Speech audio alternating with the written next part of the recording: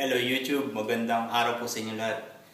Day off ko ngayon kaya medyo nakakainip din yung nakaupo ka lang dito sa computer at nag-internet. Kaya samahan niyo ako mamaya para mamasyal tayo sa Dubai Marina. Desierto pa rin ang ilang bahagi ng Dubai kaya pero mapapansin mo na umuunlad talaga kasi ang dami ng construction na ginagawa. Kaya ayan, kaya kahit saan ka lumihon, makikita mo construction dito, construction doon.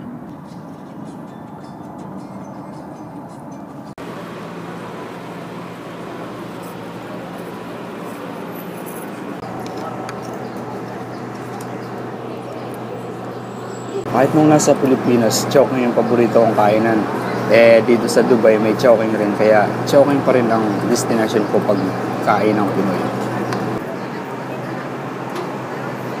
Ang sarap ng ganito. Tamang-tama lang yung klima, hindi mainit, hindi malamig. And syempre may enjoy mo rin yung mga taong naglalakad kasi iba-ibang lahi. Ang tawag sa bahaging ito ng Dubai Marina eh The Walk kung saan andito yung mga restaurant, mga shop.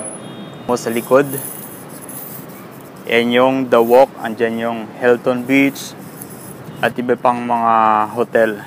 Ito, bali may program dito mga, ewan ko mamaya, parang Red Bull Fighters, International Freestyle Motocross.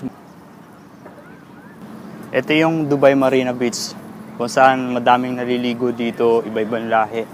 Kaya may enjoy mo kasi, eh, syempre, ibang experience. Kumbaga, parang nasa international beach ka kasi nga, sari-sari makikita mong tao, iba-ibang klaseng tao, iba-ibang kulay. And yun, maganda pati yung ano kasi white sand like this. And yung tubig eh malinis. Yun nga lang ang problema dito, walang palitan ng damit. Kailangan pang umakyat dyan sa mga building na yan. Kasi may mga swimming pool dyan eh.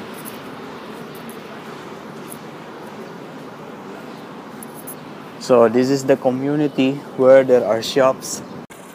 So that is the swimming pool. I can see some old lady swimming in there. As you can see, the one with the umbrella. May mga construction pa rin ginagawa dito. Mga hotel nga din yata ito eh.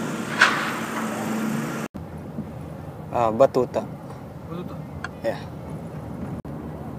Ito na yung Batuta Mall. Kung saan isa sa malaking mall dito sa Dubai. And pupunta muna ako dito para bumili ng ilang mga grocery. Natutuwa ako dito eh, kasi pag nag-click ako, umubukas yung pinto. See? So ito na yung loob ng mall. Bali yung mga sales lady dito, mga waiter, waiters, eh, mga Pilipino din.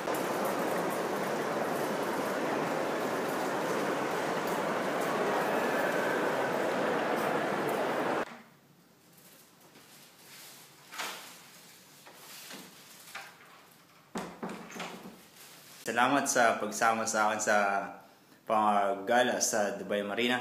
And sana nagustuhan niyo itong video and nagustuhan niyo yung lugar.